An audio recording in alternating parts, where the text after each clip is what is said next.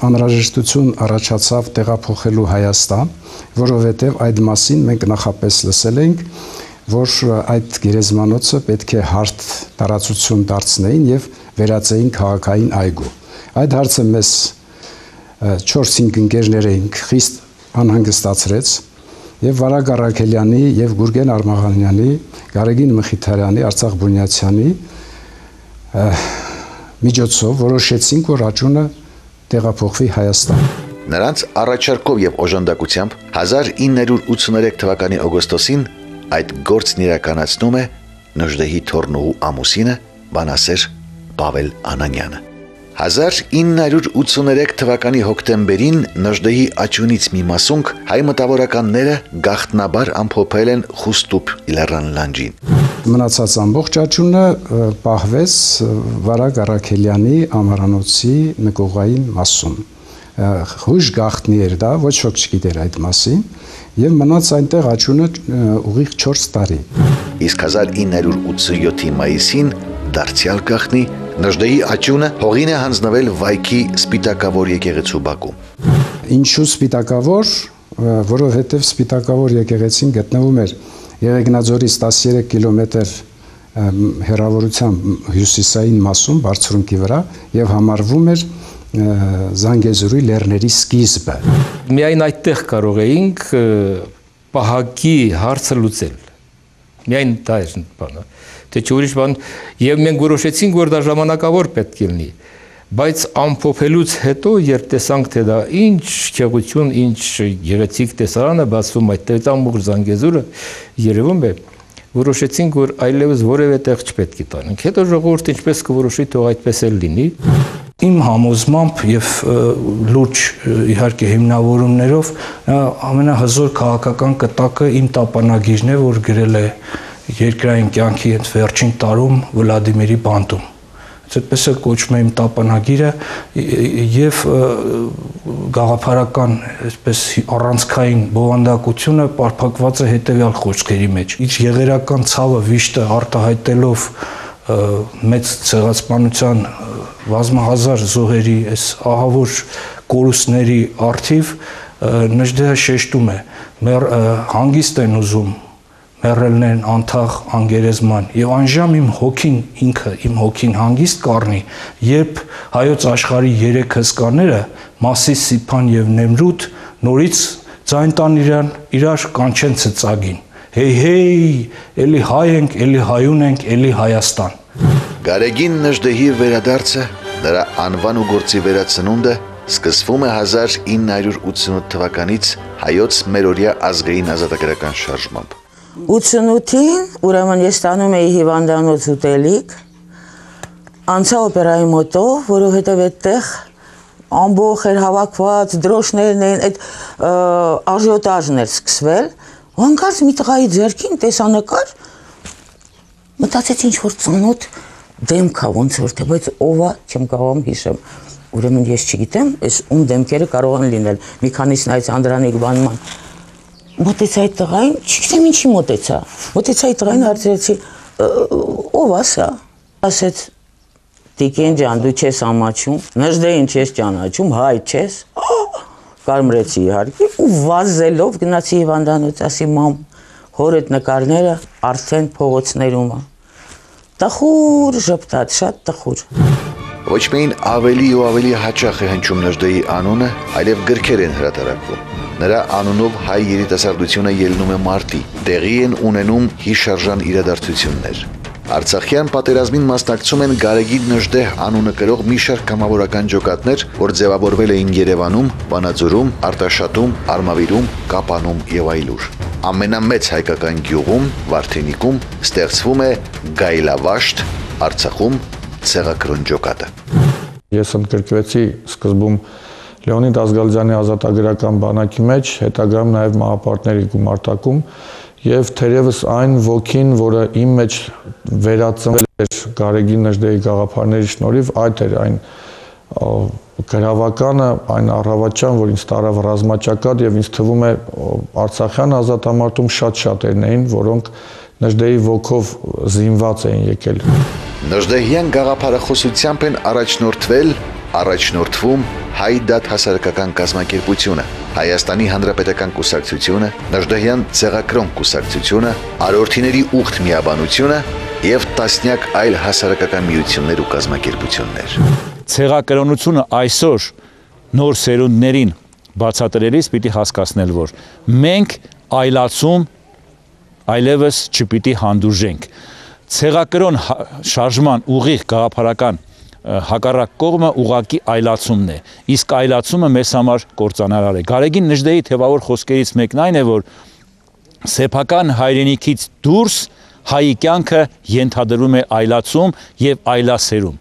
Իսկ հայրենի հողի վրա ցեղակրոն գաղափարական հենքի վրա նշանակում է վերադարձ դեպի արմատները։ Այնպես որ այսօր այդ գաղափարախոսությունը խիստ արդիական է եւ մեր տեսակին գենետիկ կոդին վերադառնալու իմաստով միմիայն նշանակում է ինքնապաշտպանական հզոր վահանի ստեղծում, որը որ կարող է ապահովել մեր ժողովրդի ապագան եւ գաղափարական հենքով նախապատրաստի մեր պետականության հետագա հզորացում։ 2001 թվականին Հայաստանում եւ Սփյուռքում առաջին անգամ մեծ շուկով նշվում է Գարեգին Նժդեհի ծննդյան 115-ամյակը։ Նույն տարում Կապանում Խուստուփ լեռան լանջին Նժդեհապաշտ ազատամարտիկ Սերժ Մկրտչյանի նախաձեռնությամբ կառուցվում եւ մեծ հանդիսավորությամբ բացվում է Գարեգին Նժդեհի հուշարձանը։ Ստեղծվում է գեղեցիկ տպավորիչ հուշահամալիր, որ դառնում է ուխտավայր կապանցիների քաղաքի հյուրերի համար։ Մշակօթողը Նժդեհի արձանով կանդակված է այնպես, որ մի ձերքին սուրն է, մի ձերքին գրիչը, այնտեղ երկրագունդի խոշոր մարմարի քարով խորհրդանիշն է, ծորենի հասկը, արծիվները, նրանք նպատակ ունեն ցույց տալու, որ եթե առաջնորդվենք նժդեյան գաղափարներով, ապավինենք մեր ուժին, երկրագնդի վրա կունենանք մեր արժանի տեղը։ Հուշարձանը բացվեց այդ օրը հետարքիր իրականության ականատես եղանք հազարավոր մարդիկ շատ մարախլապատ եղանակ էր խուստուփը փակ էր երբ որ հնչեցին համազարկերը զինվորական ասեմ որ հուշարձանի բացման պատիվը տրված էր լուսահոգի վարչապետ Անդրանիկ Մարկարյանին երբ որ ձգվեց այդ պարանը եւ սավանները վայր սահեցին կարծես մի հրաշք եղավ։ Մշուշը վարկյանների ընթացքում մշուշը ծրվեց, արևը խուստուփի գագաթին եւ շողքեր ընկան ուղիղ հուշարձանի վրա։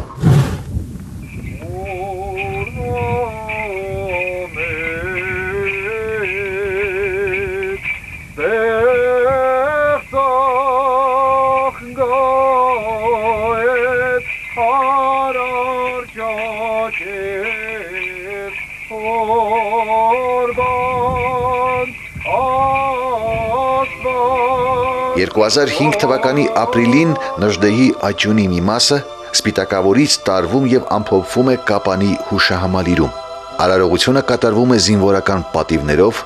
մեծ հանդիսավորությամբ։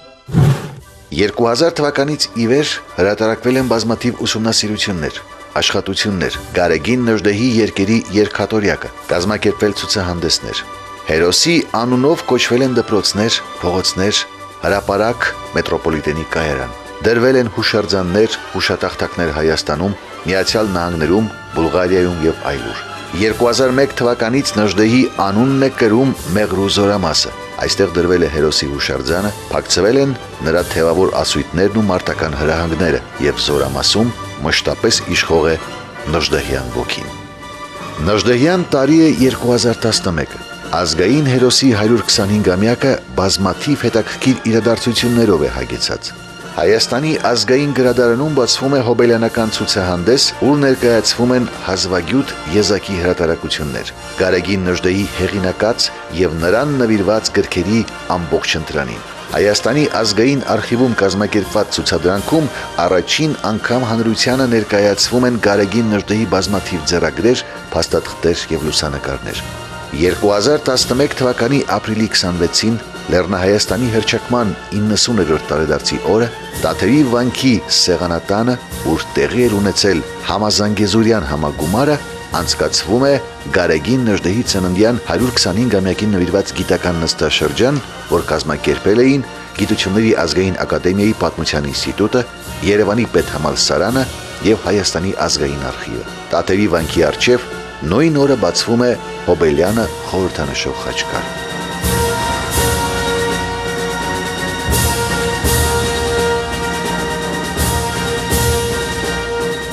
Կապանում տեղի են ունենում հոբելյանական միջոցառումներ։ Հայաստանի ազգային գրադարանի շրջիկ գրադարան ավտոբուսը ներկայացնում է Գարեգին Նժդեհին նվիրված իր յուրահատուկ ցուցադրանքը։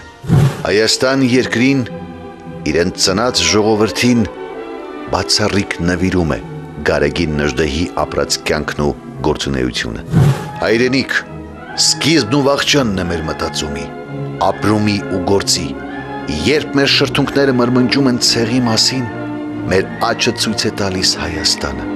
Մենք հավատում ենք Հայաստանին։ Դա նշանակում է, որ կյանքում սրբազնագույնը մեզ համար հայրենիքն է։ Մենք շնչում,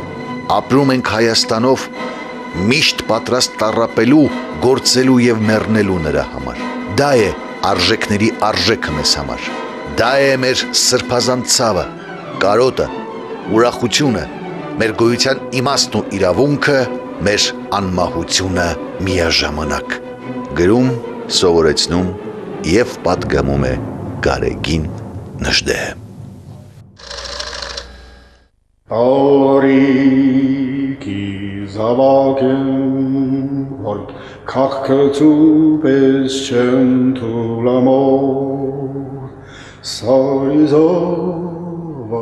거리 오디 흰 가자여 샘조랑고 서리자왁 거리 오디 흰 가자여 샘조랑고 예르비마 제르바치하시할 아자테 사마르사루카 մինչի փակվին աչքի խավար, պիտ չմխնեմ հոնոտար, մինչի փակվին աչքի խավար, պիտ չմխնեմ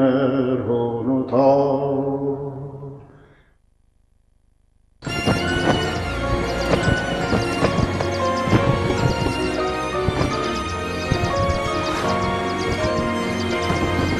Հայաստանը դու ես։